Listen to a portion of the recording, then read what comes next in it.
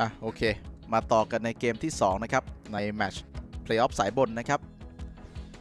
คู่ที่ 2 ของวันที่ 3 นะครับ ในรายการ Summit 12 กับ Fnatic พบกับ Liquid Fnatic นำอยู่1ต่อ0นะตอนนี้ ถ้าไม่มีอะไรผิดพลาดไม่มีรองแผนก็น่าจะ 2-0ดูจากทรงแล้ว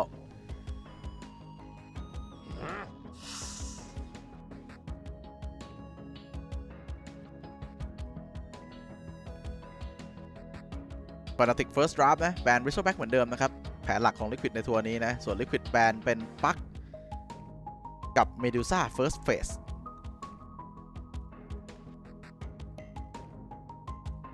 เฮ้ย ไม่แบน Rubik DJ จจริงเหรอ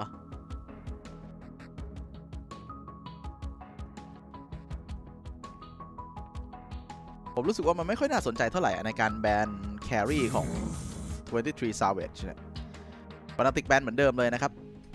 ก็แบนบ็อกซี่มาสไปเนี่ยแบนแครี่2ตัวเลย แบน PL แบนเมดูซ่าแล้วก็เนี่ยแหละครับ DJ Rubik ครับผม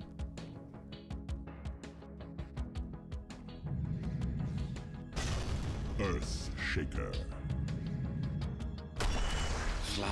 แล้วสังเกตนะเขาคิดรับมาอยู่แล้วเว้ยเขากดทันทีเลย หลังจากที่เห็น Rubick เขา Earthshaker Slardar ครับ แล้ว Fnatic ก็กด Troll Lord มาแก้ Slardar คือ Earthshake เป็นตัวที่แพ้ Rubick เพราะ Rubick ก๊อป stun ได้ นี่คือ Liquid กำลังให้ skill stun กับ Fnatic หมดเลยนะ ไม่ว่าจะเป็น stun Slardar stun Earthshakerเฟส2แบน Liquid แบน Oracle ไม่ให้เล่น Oracle Troll Fnatic แบน Razer ดูดาเมจ Troll รู้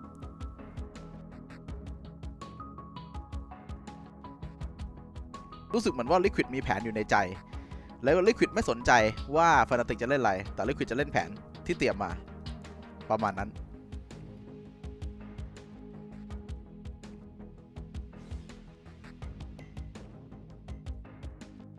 อันนี้คือผมสัมผัสได้เลยว่าเลน Liquid ไม่ดีแน่นอนเลน Salada Earth Shaker เจอโทร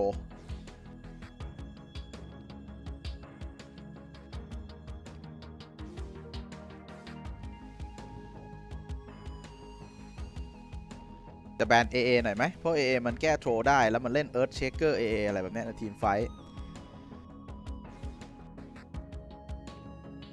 เพราะถ้าไม่มีอะไรแก้ทางโทรเลยก็ชิลนะครับ นั่นแหละครับแบนไป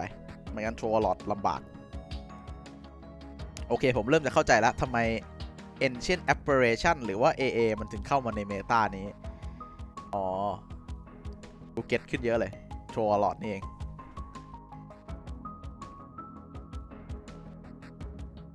ซึ่งคือควรจะเก็ตตั้งนานแล้วตั้งแต่ตอนไมเนอร์ที่ผ่านมานะที่เราคุยกันว่าเออทำไม AA มันมาถี่ขนาดนี้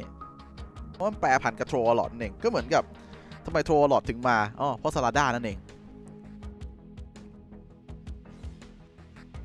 เมตาชิฟตามฮีโร่เมตา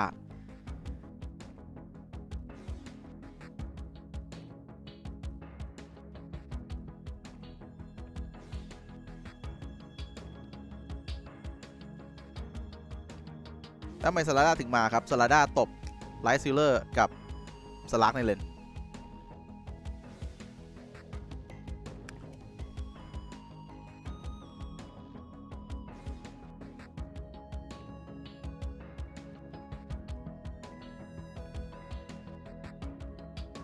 ิวมันก็ประมาณนี้แหละเคาน์เตอร์กันไปเคาน์เตอร์กันมาทำไม Troll ถึงแก้ Slardar ไม่ทราบจริงๆ Slardar มันไล่คอในเลนนะครับ Troll Lord ตีไกลได้ Troll Lord มันมีใครอะอะไรก็ตามที่มันต้องเข้าระยะประชิดแบบ Doom Slardar อย่างเงี้ยมันไม่ชอบหมด Troll Lord ชนะ ตรงนี้ คุณเข้ามาหาตัวเขาเขาก็ปั่น slow เข้ามาประชิดตัวเขาก็ปั่นขวารอบตัวติดติด miss armor 10หน่วยต้นเกม4บวก6จากแบอ่าจากตัว Berserker's Rage แค่นี้ก็ตีสู้ไม่ได้ละยังไงเลนก็แพ้คือ lane Slardar มันควรจะมาชนะเว้ยแล้วมันมาเจอ Troll lane ก็ไม่ชนะฟาร์มก็ไม่เก่ง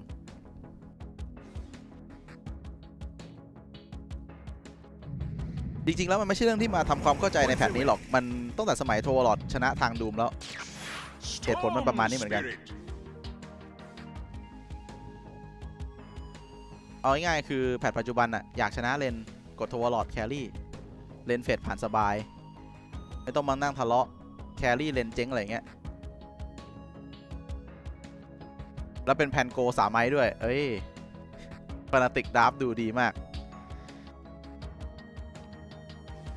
Liquid Band เป็น Queen of Pain แล้วกด Storm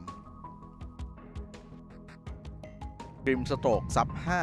5 แล้วก็เป็น Death Prophet ใบ Storm ขยี้ Storm ในเลน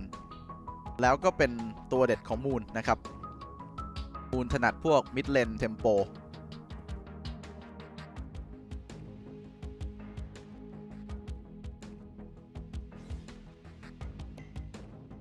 ถ้าจะให้ดี Liquid มันต้องเป็น damage กายภาพ มันถึงจะเข้า ult Slardar Liquid ban สุดท้ายเป็น Winter Wyvern จบครับผม ตัวตีที่เล่นกับ Slardar tempo คืออะไร tempo คือจังหวะครับ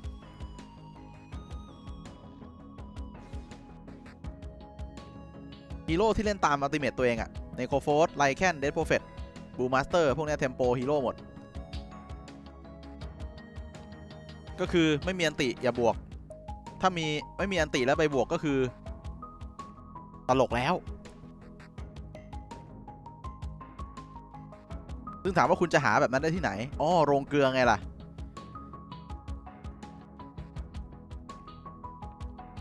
เหมือนขายของต่อด้วย ดู playlist โรงเกลือสิ มีเต็มไปหมดเลยนะครับ สู้ด้วยสัญชาตญาณ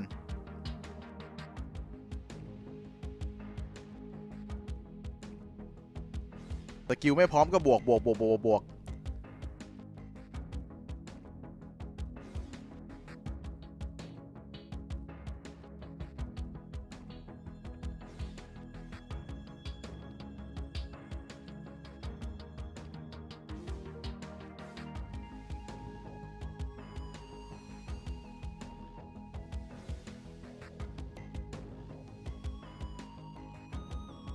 ตอนนี้คือไอตัว damage กายภาพ carry ตัวนี้คือแบบค่อนข้างสำคัญมากเลย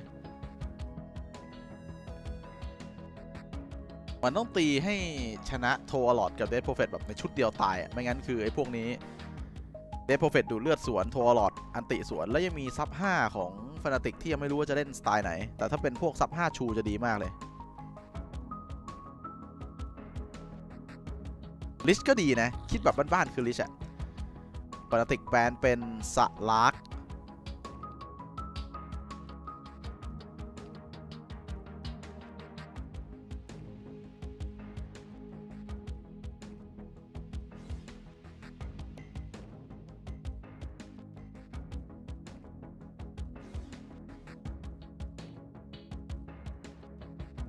Lifestealer กลางเกมไหม Lifestealer Storm Slardar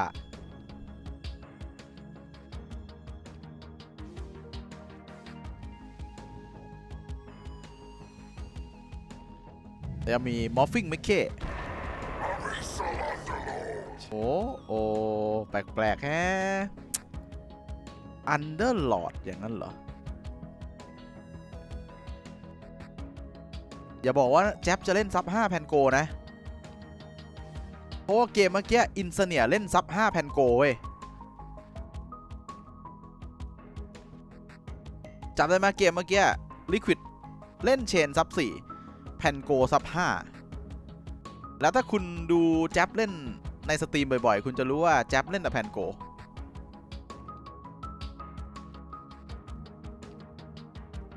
ผมเลยรู้สึกว่ามันจะมา Fnatic เกมนี้ยืนโคตร strong คือเป็นทีมตัวยืนอย่างแท้จริง มี Underlord มาลด damage ศัตรูด้วยนะครับ จากออร่า แล้วก็ถ้า damage Liquid burst ในชุดเดียวไม่ตาย Underlord จะพา warp กลับบ้าน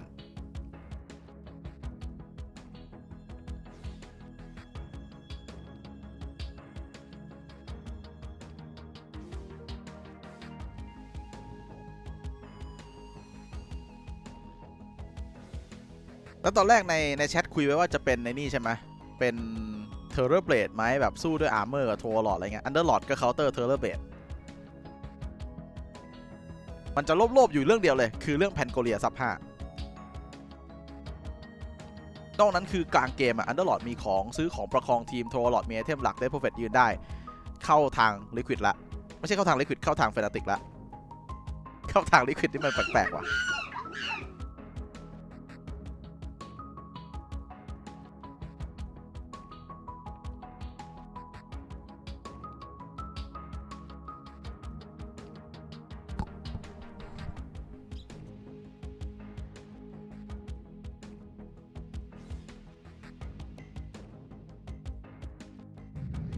กมีดิสอาร์มด้วยนะ พวกตัวตีก็เล่นลำบาก แล้วมาเป็นเรดคิง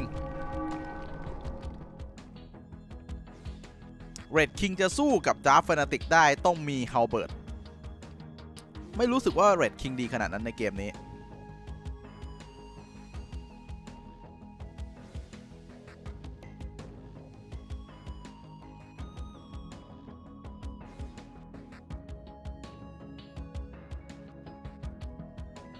ทำไมผมถึงไม่ชอบ Wraith King เกมนี้เพราะว่า Wraith King มันเป็นสายเต็นสายเต็นเวลามันเจอ Underlord มันโดน Firestorm burn HP เปอร์เซ็นต์แล้วก็ถ้าคุณเป็นตัวยืนในทีมไฟคุณจะโดนเด d โปรเฟตดูดเลือดเป็นเปอร์เซ็นต์ด้วย นั่นหมายความว่าเรดคิงจะเป็นตู้เติมเลือดให้กับเด d โปรเฟตแล้วเรดคิงไม่ใช่ตัวเบิร์สดาเมจแต่เป็นตัวที่ต้องได้ตี แล้วถ้าใน fight เกิดอะไรขึ้นโดน Underlord root kite fight Troll Warlord ปั่นขวานรอบตัวตีติด miss Rubick จับยก Pango disarm bye bye ยืนทื่อๆไปนั่นแหละใน fight แล้วก็ Underlord ปัจจุบันเนี่ย มันมีช่วงหนึ่งเป็น meta ถ้าจำได้ Underlord ในช่วงประมาณสักเดือน 2 เดือนที่ผ่านมา แบบฮิตมาก ๆ เลยในทัวร์ทัวร์หนึ่ง armor Underlord มันเยอะอะเวลามันเจอ summon skeleton ของ Wraith King มันก็เลยแบบไม่ได้ซีเรียสอะไรขนาดนั้น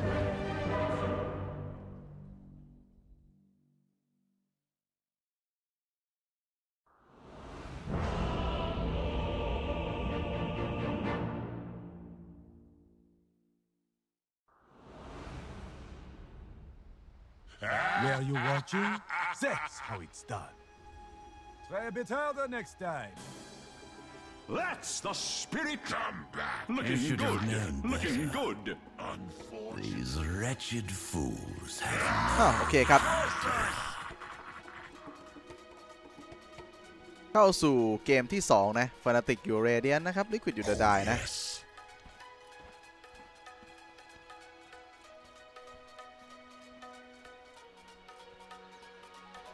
Rubick เปิด Headdress นะครับ เลี้ยงเลนนะ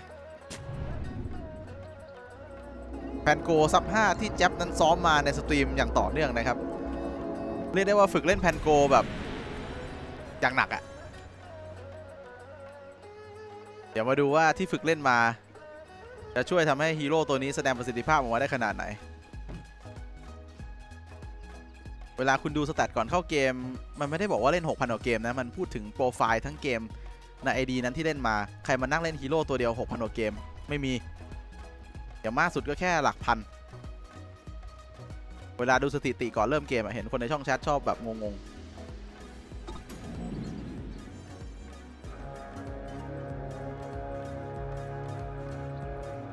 Where are you watching? That's how it's done.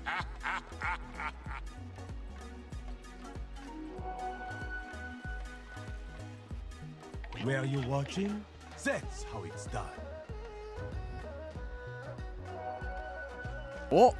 เรดคิงลงมาอยู่เลนล่างอย่างนั้นเหรอ โอ้เขาจะเล่นเลน3ชน ใส่โทรลอด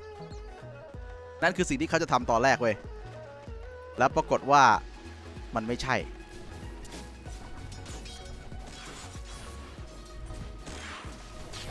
มันเป็น Underlord ครับ Underlord ที่อยู่ safe lane ด้วย เลนกลางเป็น DP เจอ Storm Underlord เปิด Ring of Protection มาบวกเกราะนะ มาถึง stun เลยเหรอ แล้ว stun อีกหนึ่งที โอ้จะหนักจะเต็มครับ สามไอซ์บอกอะไรกันวะเนี่ย คือมาถึง คือมาถึงจะเล่นแบบทื่อๆ แบบนี้เลยแบบ เออ set combo set combo set combo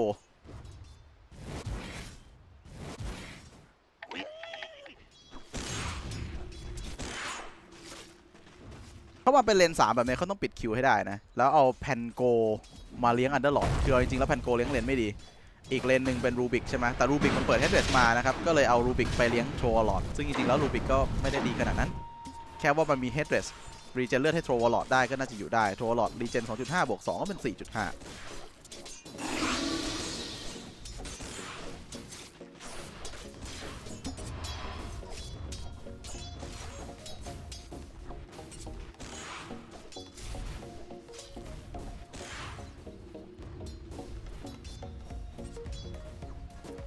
ตอนออกจากเลนเนี่ย ถ้าถามว่า DP กับ Storm คือ Storm มันฟาร์มไวกว่า DP นะ ต้องระวังตรงนั้น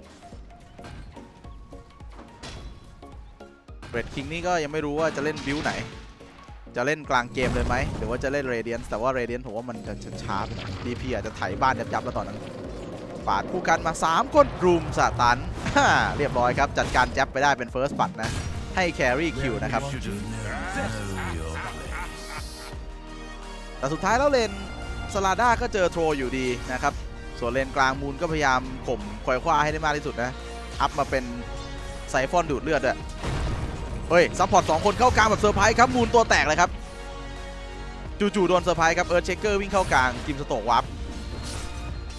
Moon เข้าไปลึกนะเมื่อกี้คือแบบว่าถ้ามัน trade หนึ่งๆอะ Moon แบบมั่นใจว่าเออ นี่คือ move ที่ดีชนะ และ iNSaNiA ได้ haste rune วิ่งขึ้นมาที่ top lane อีกปาดคู่กันขึ้นมาดีเจบอกนานี้ อะไรวะ อะไรอยู่ๆมันมาจากไหนเนี่ยไอตัวแบบพุ่งๆด้วยผู้กันเนี่ย ส่วนเลนล่างก็สมว่าเป็นอันเดอร์ลอดนะครับ ออฟเลนเลนแข็งถ้าไม่เจอสลากอะนะ อันเดอร์ลอดอยู่กับเรดคิงสบายเลย ได้ฟาร์ม แล้วก็มีออร่าส่วนสวยแล้วตรงนี้มา 3 คนลุมกระแทกมูนอีกแล้ว มูนมีสติ๊กอยู่ แล้วอยู่ในโซน ออร่าป้อมครับมันบวกเกราะให้แล้วดูดเลือดอยู่นะครับ damage เลยไม่พอครับกลายเป็นทางฝั่งของ Liquid เสียเวลาแทน Jabz พุ่งมา swashbuckle เติม damage DJ มี Fade Bolt ไหมมีแต่ว่า damage ไม่พอนะต้องเวล2เนี่ยปิด kill ได้ กลายเป็นตอน mid war ครับเลนกลางมากันแบบทีๆปล่อยเลนข้างโซโล่ปล่อยเลนข้างโซโล่แบบนี้ Fnatic กำไรนะ Underlord เลนสบาย Troll Warlord เลนสบายครับดูแค่เลนบนเลยเลนบน Troll Warlordชนะไป 2 เท่าของคลิปละ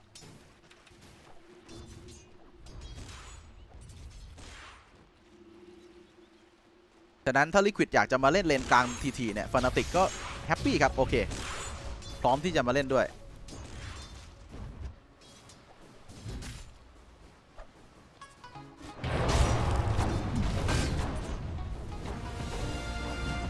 อีกหนึ่งคลิกสามไหมเพิ่งจะมากัดแทงโก้ ทันไหมทันไหมทันไหมยังจูงได้อยู่อะ สุดท้ายโซมาเคิลติดลัคกี้ช็อตทั้งคู่ครับผม เอ้า กลายเป็นสามไหมไม่ตายและหันมาไฟสตอมสวนอีกหนึ่งที ยังคงจูได้อยู่แต่ต้องการซัพพอร์ตอีกหนึ่งคนจะดีมากแล้วยังจูงออกไปได้โอ้โห แล้วเคอร์เลียไมิเก้โดนอะไรไม่รู้คิวครับ ขอมาไม่ถึงตัวครับ courier ตายไปทั้งหมด นาทีเศษๆ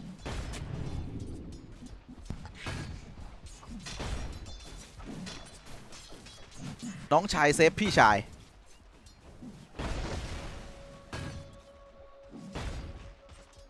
ถ้าเลนไหนมีปัญหาก็ส่ง Underlord ไป defend นะเกมนี้ qojqva ก็ถอยกลับบ้านแล้วครับ สู้ DP ไม่ไหวในเลน DP มันมีเติมเลือดส่วนตัวจากไซฟอนอะนะเพราะสุดท้ายแล้ว Storm ก็จะต้องไปฟาร์มป่าอยู่ดี Where you watching? That's how it's done.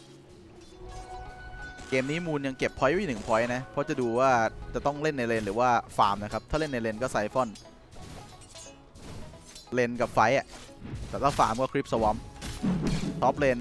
level เท่ากันแต่ Troll Warlord ก็ฉีก creep ยับนะครับ แล้วตอนนี้ Troll Warlord มี 2 Wraith Band แล้วด้วย เล่น Diffusal Blade นะครับ เกมนี้เคาน์เตอร์Wraith King มาเจอแจ๊บแจ๊บมีสกิลหนีไหม ไม่มีครับ ตัวแตก Ink Swell ป่าสองคนรุมตี เรียบร้อย Enchant Totem ปิด kill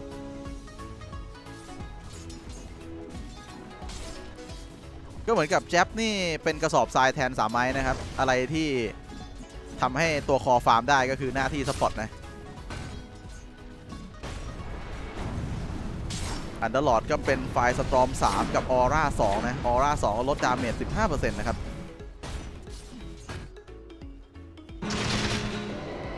ชิบหายปล่อยขวาพึ่งเลเวล5ครับ มูนเปิดผีเลยและดูดเลือดแบบไม่สนใจ จะวางอะไรก็ช่างมันครับผมปล่อยขวาตายโดน Crypt Swarm ปิด kill ครับ ถึงแม้ว่าไทกาจะช่วย Fissure แล้วก็ตามครับ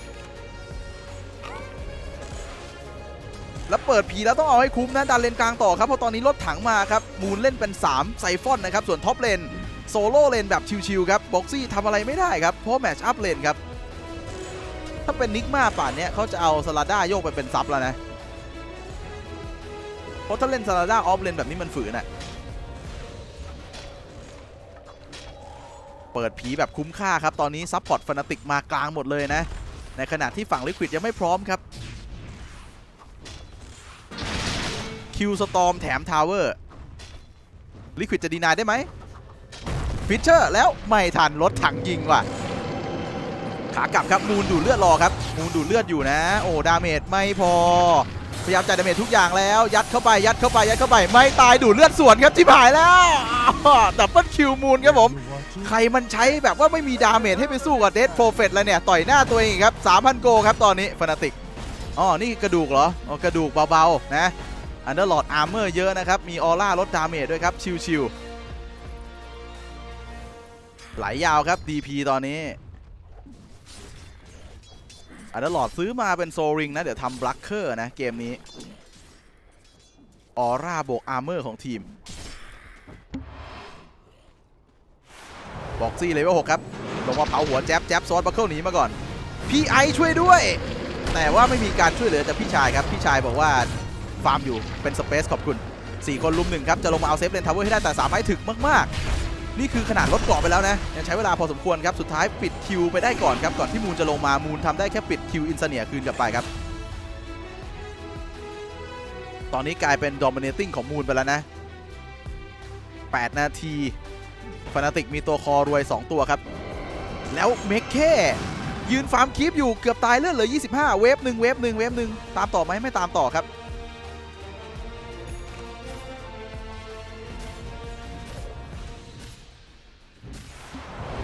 เบรดคิงมาเจอโทรอลอดดิฟิ s อลเบรดเบรดคิงก็จะมีปัญหาจนประมาณเลเวล 20 เลย จนกว่าจะมี talent เกิดใหม่แบบไม่ใช้ mana ลิควิดขึ้นมาเล่นด้านบน แต่แจ๊บเปิด map ก่อนนะครับ ตอนนี้แจ๊บยืนตรงซอกป่าข้างขวานี่เขาก็จะรู้ก่อนนะ ว่ามีใครเข้ามาแล้วมีวอร์ดรอยที่ top lane ด้วย อินเสเนียมันสัมผัสได้ว่าเอ้ยแจ๊บเหมือนจะรู้นะ ก็เลยปัก Sentry ดูเจอวอร์ดพอดี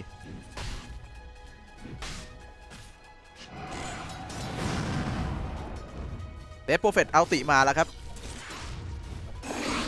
Death Prophet จะหาเลนออนแอร์ดันต่อนะ นี่คือเกมที่ดีของ Death Prophet เลยแล้วเกมนี้ Wraith King จะเล่นเป็น Armlet ครับบิวทำเกม จะมาสู้กลางเกมนะลิควิดต้อง space ให้ทางด้านของคอยคว้าได้ฟาร์มครับ ในขณะเดียวกันฟนาติกก็เอาวอร์ดเข้ามาปักในป่าใหญ่ของลิควิดแล้วนะ รวมถึงเอาโพสด้วย ฟิชเชอร์มาบล็อกทางครับปั่นขวานไว้ก่อน ตอนนี้น้องทรีเก็บพอยต์ไว้อัปติไหมไม่มีอัติครับ กลายเป็นว่าโดน 3 คนลุมกระทืบอยู่แล้วก็อู้เรียกกี้ช็อตอีกแล้ว ปั่นขวารอบตัวปาดผู้กันของก๊อฟจากดีเจครับ แล้วโดนสโลอย่างหนักครับเมเก้ไปไม่ถึงตัวโทรหลอดสักทีอินซเนียโดนสวนกลับไปครับ โดยมูนมาปิดคิวเมกาคิวครับแล้วเมเก้ล้มเสียรีคาเนชั่นครับเปิดผีรอไฟอะฟิชเชอร์บล็อกทางไว้ก่อนครับ แต่เปิดผีไปแล้วก็ยังเอาทาวเวอร์ได้อยู่ดีนะ แล้วมูนจะได้ด้วยครับมูนบอกว่าไม่มีใครสู้อะฉันได้ในแมปตอนนี้ครับจอร์ดบัคเคิลมาเติมลัสโลจากลัคกี้ช็อตวางรูทจากอันเดอร์ลอดครับผมเมคเคเสียทั้งรีคาเนชั่นและเสียชีวิตจริงไปด้วย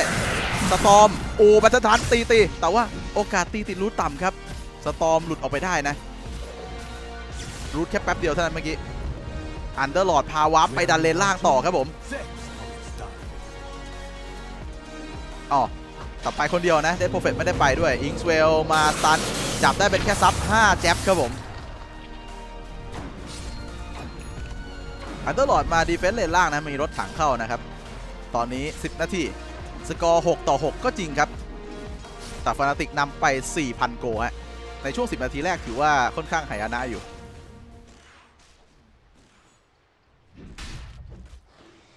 มันเยอะเกินไปนะครับ ลองสังเกตเงินดีๆ Slardar รู้อยู่แล้วว่ามาเลนนี้ก็แพ้นะครับ เงินจนกว่า Rubick support ซะอีกนะครับแล้ว Rubick ตอนนี้ถือว่ามี 2 wave clear เลยนะ มี Fade Bolt กับ Grimstroke Stroke of Fate นะครับ ปาดพู่กัน แล้ว Wraith King จบ 11 นาทีแรกมาที่เงิน 3,007คือจืดๆเลย Storm ก็จืดเช่นเดียวกัน จะพึ่งพาใครได้เนี่ยเกมนี้ ตอนนี้ตัวที่เก่งที่สุดใน map ก็คือ Death Prophet นะ Dead Prophet เขาจะเล่นแบบเก่ามากๆ แล้วเขาไม่ care ปัก Observe Ward ไว้อยู่ในป่านะครับ ก็เห็นหมดแล้วครับว่าซา a าดากับ Grimstroke กำลังจะมานะ DP ไอเทมหลักต่อเป็น Eul Scepter แล้วเดี๋ยวพอ t r o l l o d ได้ Diffusal Blade นั่นแหละคือ timing ละเจอปาดพู่กัน slow กลับครับ Slardar เลื้อยไปถึงตัวเด d โปรเฟตและเจอใบ ใบสวนกลับไปจากเด d โปรเฟตครับ ได้มาแค่ DJ Support ครับ ถือว่า DJ ได้ save the day นะตรงนี้Fnatic smoke สวนเลยครับ จะมาตบแบบทื่อๆครับ น้อง Tree โผล่มา เฮ้ยนี่ Troll Lord เองปูนมาแล้วกับ Jabz ครับ Jabz มี ulti ด้วย Rolling Thunder ปิดปีน bye bye Taiga ครับ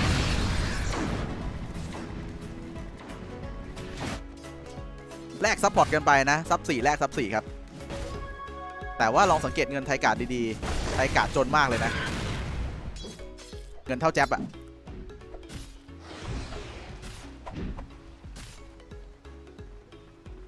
Slardar พยายามเลื้อยหนีนะยึกผ่านไปได้ครับ เพราะตอนแรก Rubick DJ กำลังมาเติมเหมือนกัน lane Slardar ไม่ได้สบายด้วย Wraith King พยายามดันเลนล่างครับ Underlord ก็ warp ลงมา defend นะ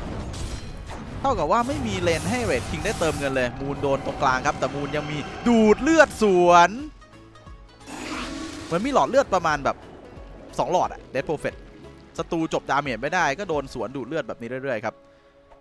Fnatic มาดัน top tower ต่อนะ Death Prophet มีผีด้วยนะครับ แต่ตอนนี้ไม่ต้องใช้ผีก็ได้แค่ Troll Lord หวดไปเรื่อยๆบ้านก็น่าจะแตกแล้วครับแล้ว Rubick ได้ของดีมาครับ Rubick ได้เผาเกราะ แบบนี้เข้า Roshan ได้ไวนะ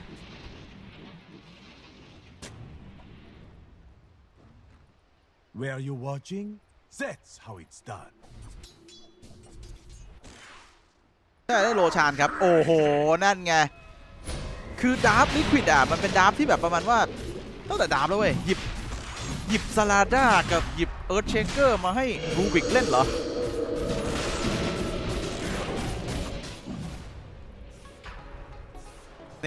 หยิบมาให้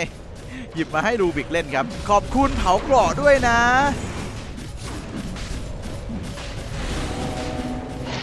เวลี่กูด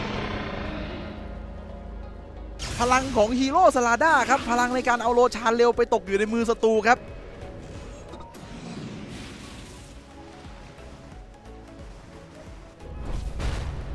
เกมก็ยิ่งหายนะขึ้นไปอีก Troll Lord มี Aegis นะตรงนี้เป็น rune Arcane ครับ Storm เก็บไปดีเจบอกอันแน่ Boxi ขอบคุณ skill ของนายดีมาก ๆ เลยนะทำให้ Troll Lord เราเนี่ย ตีแรงขึ้นไปอีกครับขนาดว่า Troll Lord เนี่ยแทบจะไม่มีไอเทม damage อะไรเลยนะ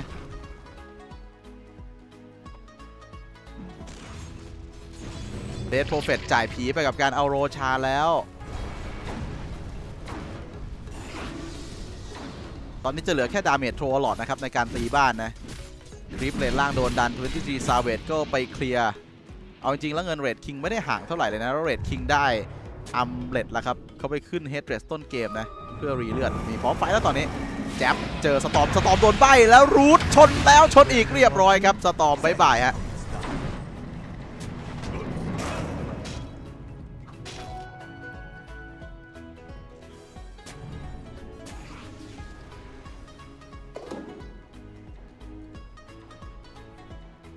รูบิกต่อเป็นอูเซปเตอร์นะ ใช้เซตกับหลุมของอันเดอร์ลอดได้นะครับตลาด้าเลื้อยมาขโมยบาวที่รูนะ ตรงนี้ก็เห็นผ่านวอร์ดที่เขาปักเอาไว้นะครับ ก็เห็นว่าอันเดอร์ลอดมาก็เลยถอยดีเจเฟดโบลดดาเมจครับ แล้วเจอยกสวนทวินทีซาเวตค่อยๆหวดอย่างช้าเคาะเคาะเคาะเคาะเคาะดิฟิโซเบตมาแล้วเลดคิดบอกไม่นะ ไม่นะ ไม่ดิฟิโซเบตมาส่งกลางไฟครับ ตอนแรกก็ดูเหมือนจะดีนะ แต่ตอนนี้ไม่ดี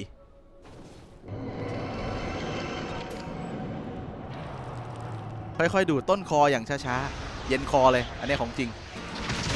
สำหรับเขาเย็นคอดูดต่อครับ wave เติม damage ปิด kill แบบง่าย ๆ ครับ wicked sick ครับ ไม่มีทรงเลยครับ Where you want อย่างมากสุดที่Liquid จะทำได้คือฆ่า support เท่านั้นเอง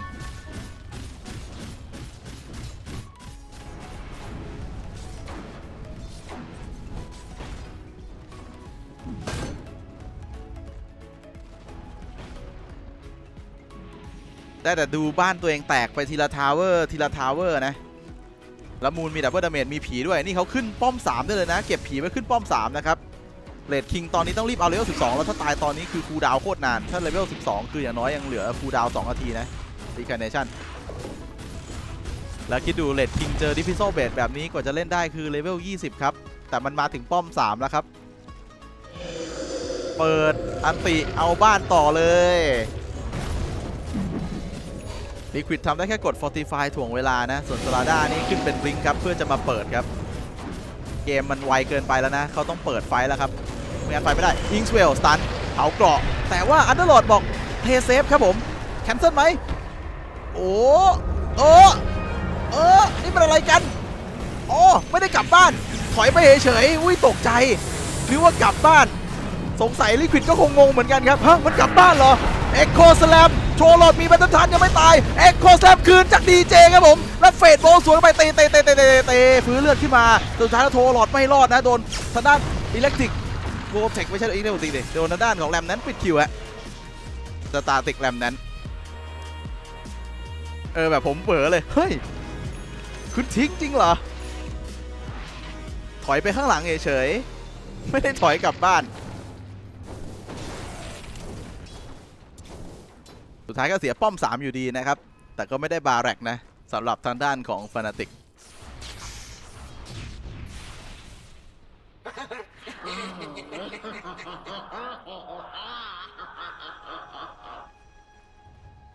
ทางฝั่งของ Liquid ตอนนี้จ่าย Echo Defense บ้านไปแล้วนะ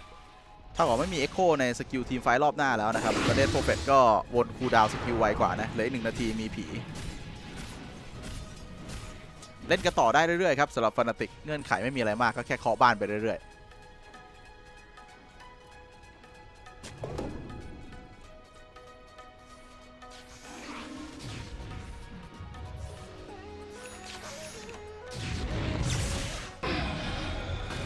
ก๊อปมาได้เป็น stun Wraith King มันมีอยู่สกิลเดียวอะ stun ถ้าไม่ใช่ summon นะ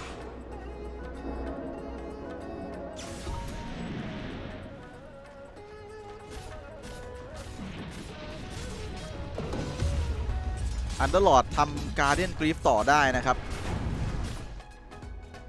มาดันต่อที่เลนกลางนะ Underlord ยืน tank Troll Warlord ตีบ้าน tower นอกบ้านของ Liquid ตอนนี้หมดแล้ว แล้วนี่เปลี่ยนมาเป็นซื้อ Pipe ก่อน ก็คือเอา 2 อย่างเลย มีทั้ง heal มีทั้ง Pipe นะครับ ทั้งกันเวท แล้วก็ฟื้นเลือดใน team fight Rubick ได้ Ult Scepter เล่น combo กับ Pit of Malice Underlord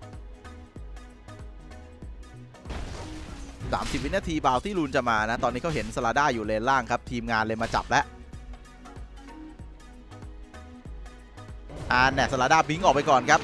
แจ็บพุ่งตามต่อนะ ulti หาเลยอ้าว cancel ครับ เปลี่ยนมาเอา outpost ก่อนนะ เพราะว่า 20 นาทีจะมาละเลเวลเกมนี้ Liquid มันเสียเปรียบหนักอะทางด้านของ Fnatic คือไม่จำเป็นต้องเล่นเสี่ยงเล่นตาม ultimate ตัวเองเล่นตาม Roshan รอบหน้าก็ได้ Slardar ขึ้นมาเป็นเหรียญเจาะเกราะนะครับทำ Solar Crest ให้กับ Wraith King ได้นะเกมนี้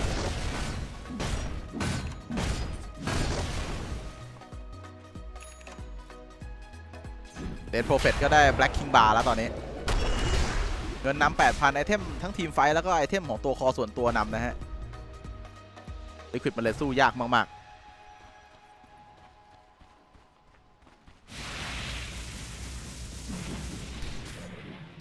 จะไปขึ้นบ้านทื่อๆ ตอนนี้ยังได้เลย DP มี ulti แล้วนะ แล้วมี Invis Rune ด้วยครับ เขาจะมาเซอร์ไพรส์ตบสักคนหนึ่งนะ แต่ยังหาไม่เจอตอนนี้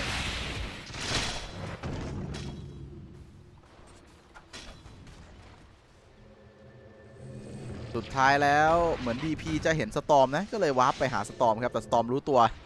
กลิ้งแล้ว TP ออกไปก่อน Underlord เจอ Slardar ที่เลนล่างแล้วแต่ตามสปีดสลาด้าไม่ทัน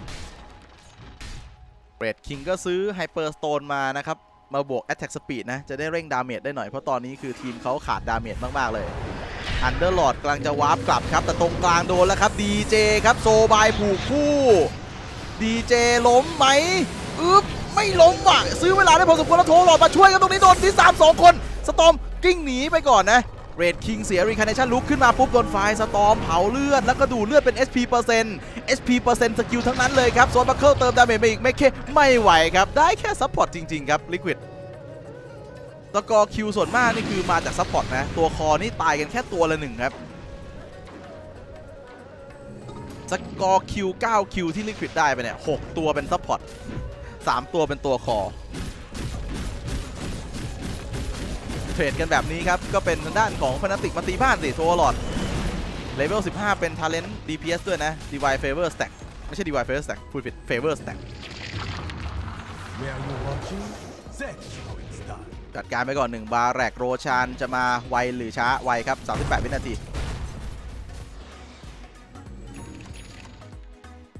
แล้วเดี๋ยวก่อนนะ Earth Shaker จะซื้อ Well of Discord ครับ พวกเขากำลังจะแก้ปัญหา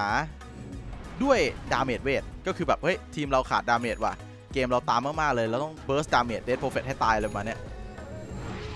ก็เลยจะใช้เป็น Veil of Discord นะ เพื่อจะได้ระเบิด damage เวทฆ่า Death Prophet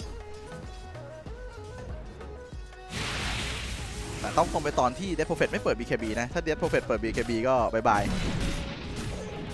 Where are you watching? That's how it's done.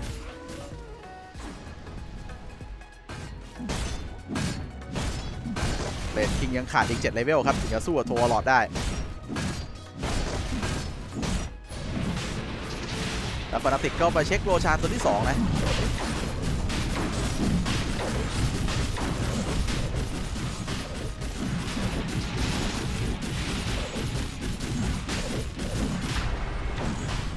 Storm เป็น talent แรมนั้น 80 damage นะครับ Troll Warlord กับ Death Prophet ตี เอา Roshan ข้างในมี Firestorm ช่วย burn เลือด Roshan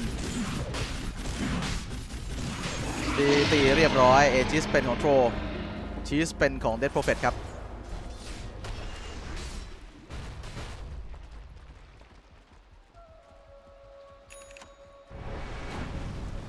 Underlord เอา Energy Booster แยกออกมานะ จะมาทำเป็นโ o ตัสอ f นะครับ และด้านบนตบ iNSaNiA ได้ How it's done. Where are you watching? That's how it's done. Pango Jabz ขึ้นมาเป็นบลัคเคอร์ ไม่ใช่ดิ เป็นวอลลาดเมื่อกี้มันเปลี่ยนไอเทมพอดีคนจับกล้อง Fnatic ส่ง 2 ตัว core มาดันบ้านอันแน่ double damage rune เหรอ ขอก๊อปซีก๊อปได้เป็น Remnant ครับ เออ Eul's Scepter จับเอาไว้แจ็บมาพุ่งชนแต่ว่ารู้แล้วว่าชนไม่ได้ เอ้า เฮ้ย เดินขึ้นมาแบบนี้ โอเค กลิ้งหนีทันครับ กลิ้งหนีหนึ่งที โดน Force ให้ต้องกลิ้งหนีนะในขณะที่ Troll Warlord กำลังตีบ้านอยู่ครับ Death Prophet โซนยันหน้าบ้านแล้ว Storm วาร์ปกลับมาที่บ้านครับกลิ้งมา stun Death Prophet จะล้ม Death Prophet Echo Slam แล้วยังไง Death Prophet ล้มครับรอบนี้แต่ Troll Warlord เปิด Battle Trance ตีอยู่แล้วโดนอยู่ในหลุมครับทางด้านขวาขวาโดนตีตีตีตีตีกดปอสโตรีเลือดปอสโตรีเลือดไหวไหมยังไม่ไหววะนึกว่าจะได้ออกครับ สุดท้ายตายครับ Storm buyback มา Earthshaker ก็ buyback ครับสามไอซ์พยายามจะวาร์ปทุกๆคนกลับบ้านแต่เสียดีเจไปด้วยแล้ววาร์ปกลับบ้านไปก่อนครับให้ทางด้านของ Liquid buyback ฟรีๆไปครับ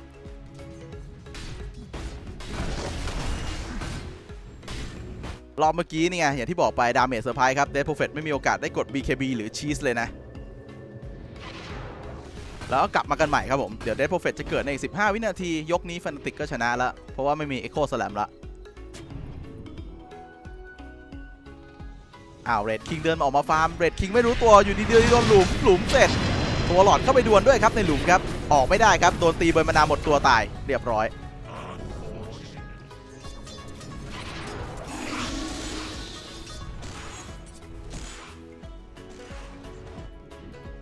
คือถ้าสู้ชนะด้วยสกิล team fight มันก็คือทีใครทีมันอะชนะยกแรกก็คือแพ้ยก 2 ได้อยู่ดี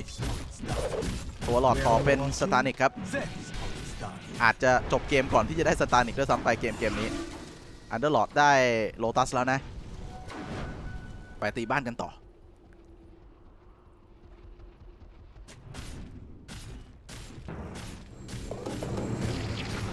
Liquid ต้องทรมานอีก 2 นาทีครึ่งแล้วตอนนี้ อีก 2 นาทีครึ่งครับกว่า Aegis จะหมด Troll Warlord ก็เล่น play safe เล่นโหมดตีไกลนะเคลียร์ melee barrack ไปแล้วไปต่อที่ป้อมกลางครับ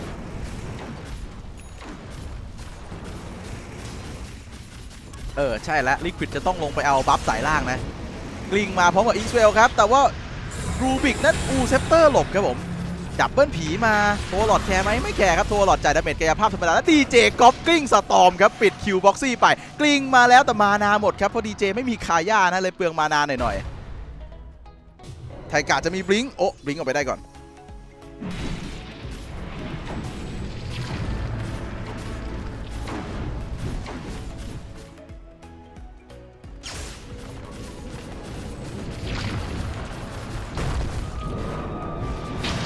โลตัสออฟสะท้อนสตันว่ะ โอ้โห ชิบหายแล้ว โทรหลอดโดนสะท้อนสตันของตัวเองครับ แล้วโยนชัดสตันคาหลุมตีเบิร์นมานาจนหมดตัวอีกแล้วไปโยน stun ใส่เขาไปโยน stun ใส่เขาอ้าว Rubick DJ จับได้ครับ Storm ต้องกลิ้งหนีไปก่อนนะ Wraith King ไม่มี buyback ด้วยครับ Boxi จะมา stun DJ DJ Eul's Scepter หลบ support ก็สู้กับ 2 ตัว core ตรงนี้ครับ โอ้ อะไรกันเนี่ยสอง support สามารถสู้กับ2ตัว core ได้ครับกลิ้งมาจับ Troll Warlord Troll Warlord ยังมี heal จาก3ไอซ์ช่วยอยู่นะAegis ก็มี Moon ตามมาดูดเลือดทางด้าน Taiga DJ จับยก1ทีแล้ว Fade Bolt ปิดคิวไปครับ GG Call จาก Liquid ครับ 2-0 ครับ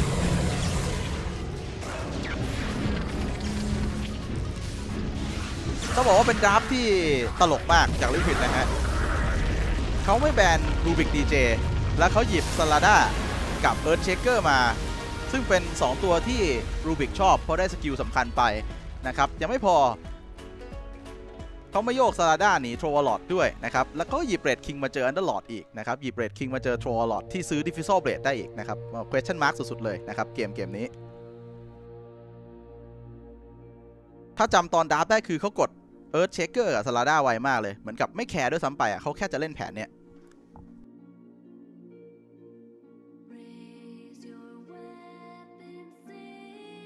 กด Storm มาเจอเด d โปรเฟตใช่ไหม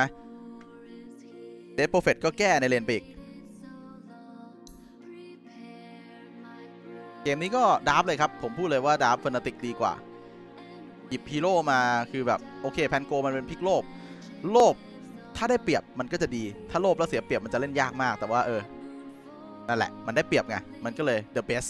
ในเกมเกมนี้ ก็จะเป็นฟนาติกครับ ไปเล่นต่อที่สายบน รอบชิงชนะเลิศสายบนนะครับ แล้วก็จะได้เจอกับ EG นะครับ แมตช์คุณภาพจะวนมาอีกแล้ว EG เจอกับ Fnatic